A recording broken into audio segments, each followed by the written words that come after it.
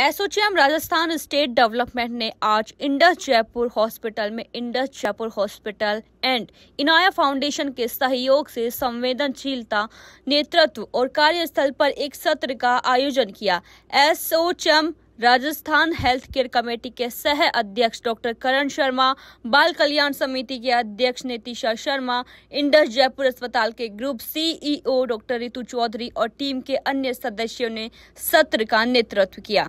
सत्र doctor, nursing staff और अन्य सदस्यों के लिए आयोजित किया गया था। इंडस जयपुर हॉस्पिटल के group CEO doctor Ritu Chaudhary ने संवेदनशीलता प्रशिक्षण की सराहना की और विशेष रूप से मानवता के प्रति दृष्टि के लिए उन्होंने इंडस जयपुर अस्पताल के सदस्यों को सॉफ्ट स्किल कम्युनिकेशन स्किल और लीडरशिप स्किल के महत्व का भी उल्लेख किया, ताकि वे एक साथ बेहतर ऊंचाइयों तक पहुँच सके।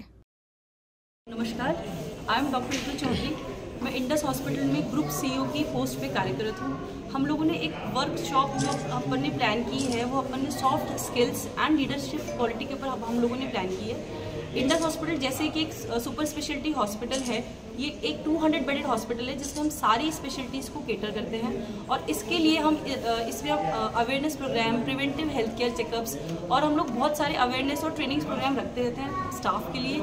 ये इसलिए ज़रूरी है क्योंकि इतनी अच्छी अगर स्टाफ की ट्रेनिंग होगी तो कहीं ना कहीं उनका आउटकम भी, उनका आउटकम भी अच्छा होगा। उसी आउटकम को ध्यान में रखते हुए हम लोग ये मानते हैं कि अगर स्टाफ का आउटकम अच्छा होगा, उनमें एक लीडरशिप क्वालिटी होगी तो अपनी लाइफ में ज़रूर सक्सेस होगा।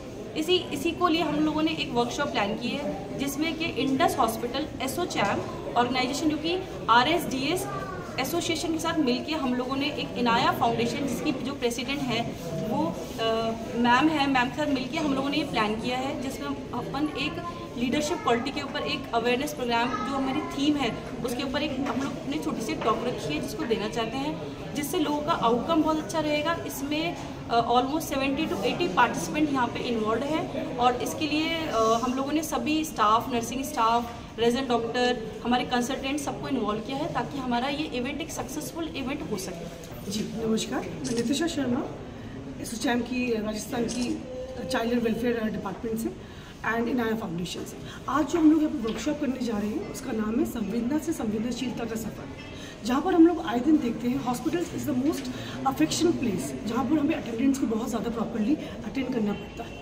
तो हम लोग आज वर्क लाइफ बैलेंस के साथ जितने भी हमारे यहाँ पर पार्टिसिपेंट्स आने वाले हैं work life balance how to participate and anger management के ऊपर हम लोग आज स्पेशली इस पर काम कर रहे हैं कि किस तरीके से हम लोग क्राइसिस मैनेजमेंट को हैंडल कर पाए।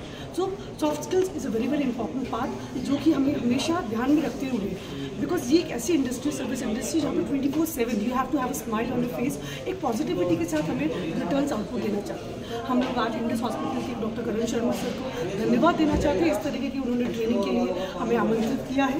ये grateful to him that he understand sensitivity and soft skills and leadership skills किस तरीके से इंडस्ट्री में और जो भी उनके पार्टिसिपेंट्स हैं डॉक्टर्स हैं स्टाफ हैं नर्सिंग स्टाफ कितना ज़रूरी है आज की दिनचर्या को देखते हुए। जो चैलेंजेस आते हैं, वो किस तरीके से मीट आउट करने हैं और किस तरीके से धरातल से जोड़ के हमें काम करना है।